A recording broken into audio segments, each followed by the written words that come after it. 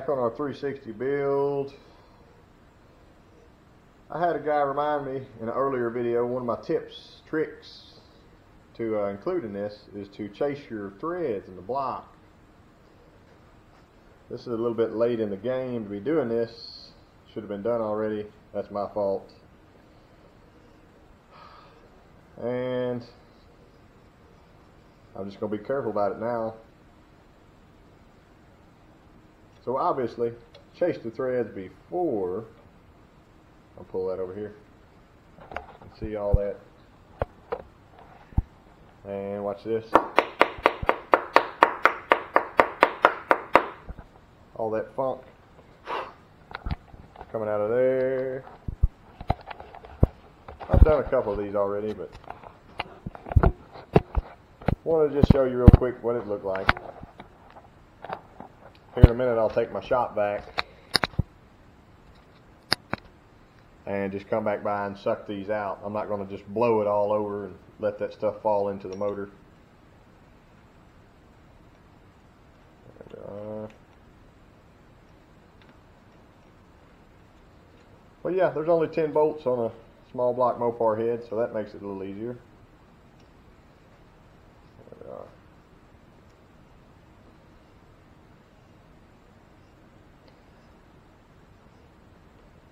I know these threads, in my mind, they were pretty clean, but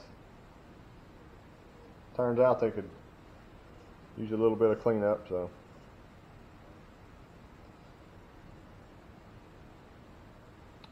Try to be careful when I get to the bottom. There we go.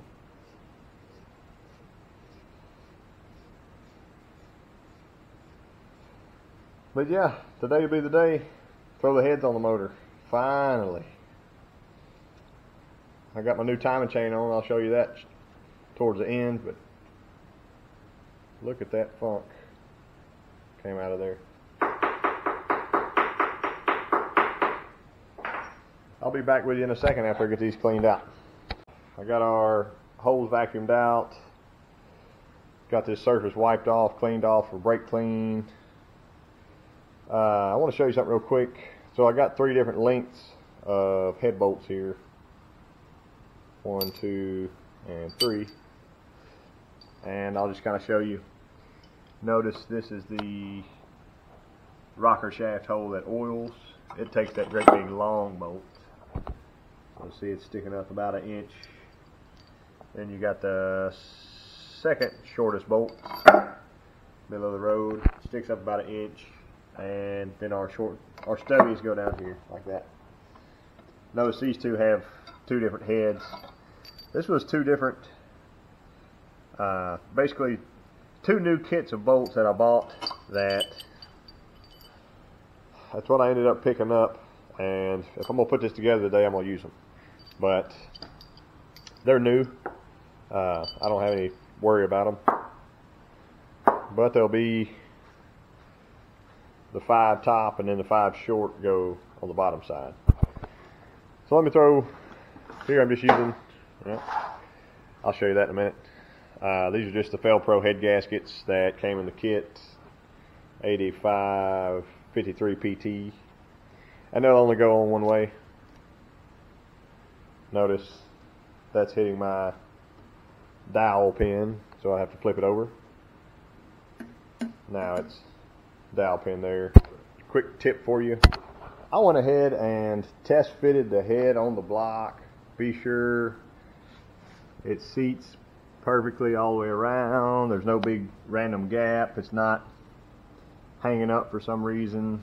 Right, I go all the way around it, look. And this head looks good. This is the one I did in my porting series. This is actually a 318 head. There's that casting number 284 3675 that's what I had so I, I gave them a pretty extensive opening up. I know the windows don't look gigantic but I took out all the casting flash raised the roofs quite a bit um, did a lot of bowl work to them when the valves were out. These are the 360 valves from my 360 heads that were cracked so I'll go ahead and pull this off real quick and we'll keep going here. Hopefully you can see me. Shop's a little bit of a mess, but that's okay. Off there. Set it on the table. Alright, so I know my surface is clean. And I'll grab my gas. There we go.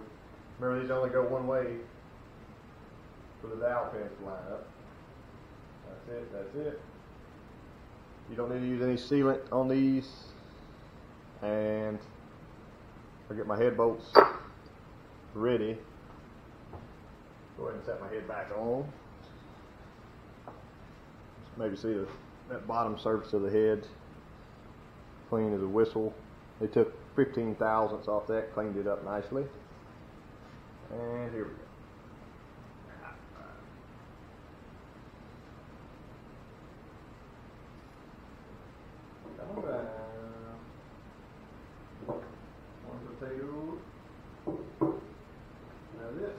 If this was a race motor, I would probably buy nicer gaskets. It's just going to be a little street hot rod, nothing special to it. You know, very, very mild 360, I would call it. Uh, for our head bolts, here I just got a small cup of oil, just oiling the tips of them, and get them started.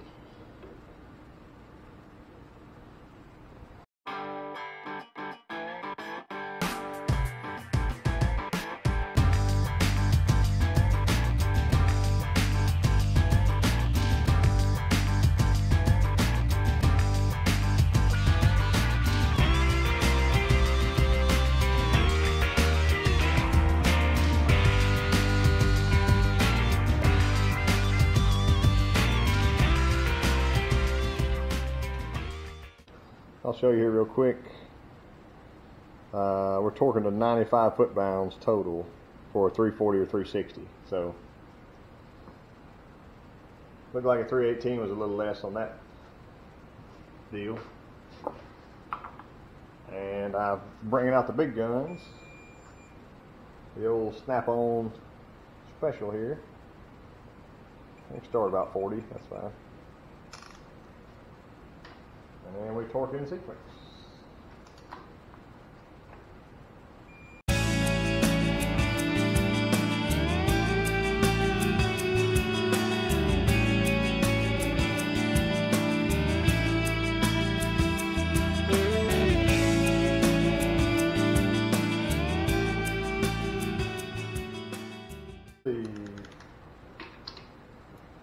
Let's run up to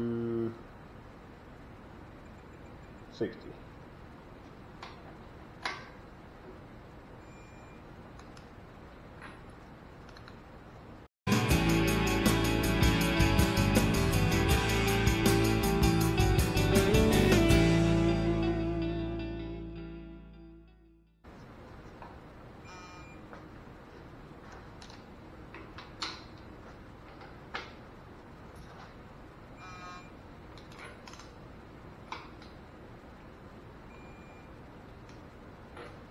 That's it. How about 75 and then 95? Let's do 80 and then 95.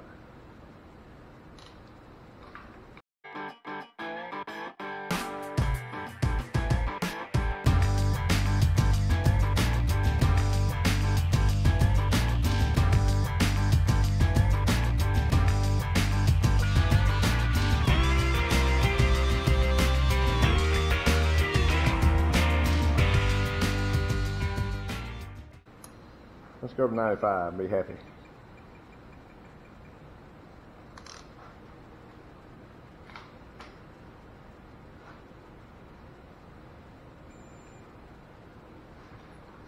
Ninety-five point one.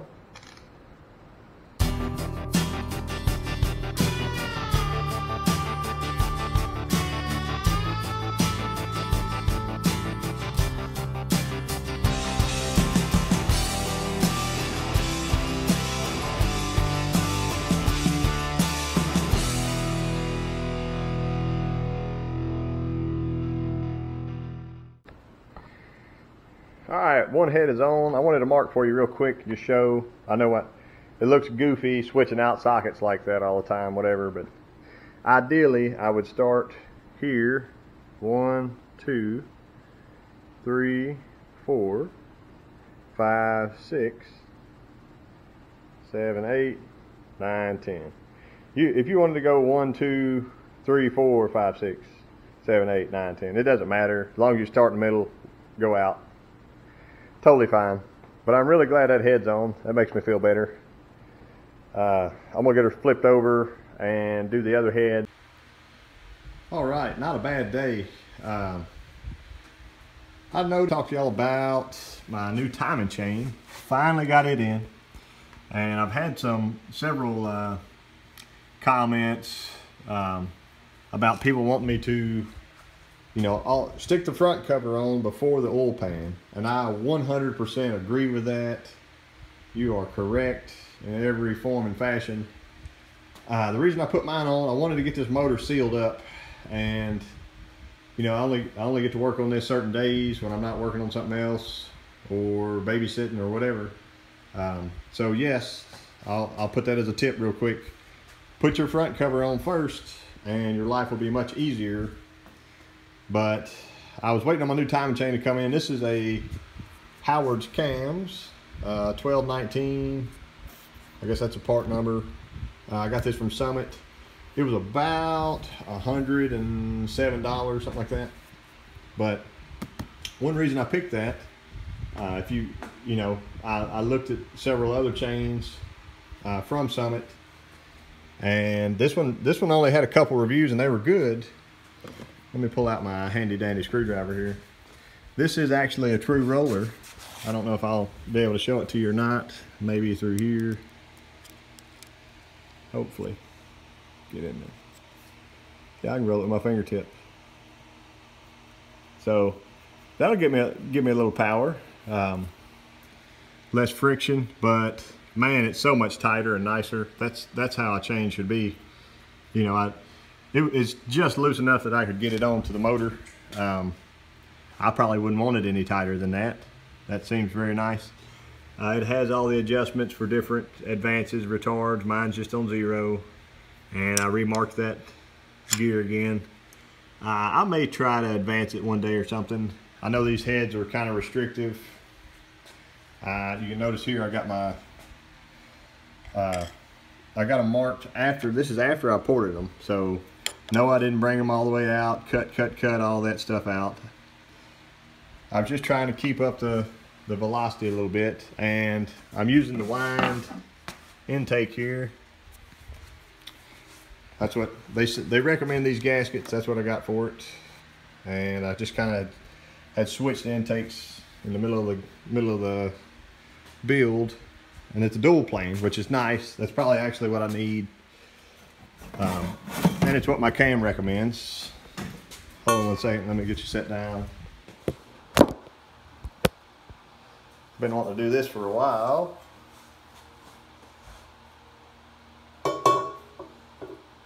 Come on down.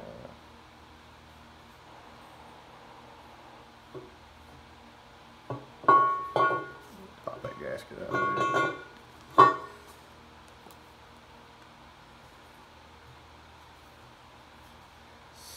Finally, starting to look like a motor, at least. Uh, but that's, trying to get down where you said, that's a pretty high-rise intake. Um, especially for a dual plane. I think they say zero to 6,500 or something, or you know idle to 6,500 RPM. So I'll get it bolted on soon, uh, probably next time I see you, and uh, my valve cover's thrown on. I guess I can just set them for today. That's better. Obviously, alternator wire will run there and there.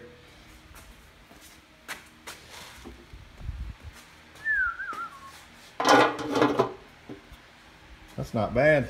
Let me get back so you can see it. That looks like a motor I was sticking something instead of a old power unit. So stay tuned for my next build video and I appreciate y'all watching. Guys, I just wanted to add one, one thing real quick. Um, my build videos have really taken off.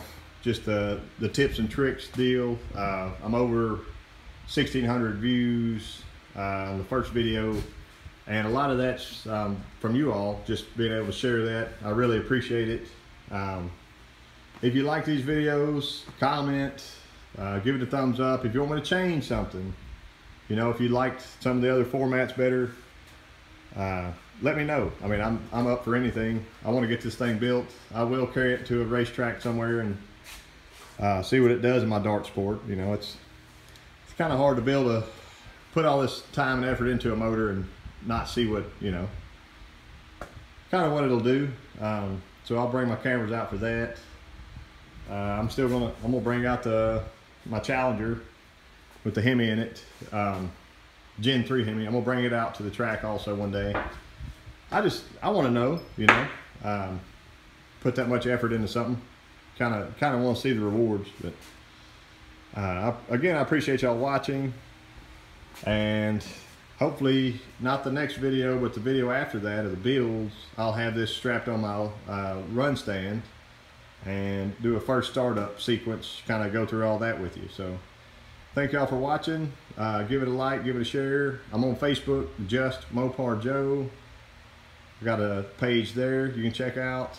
Uh, but thank y'all.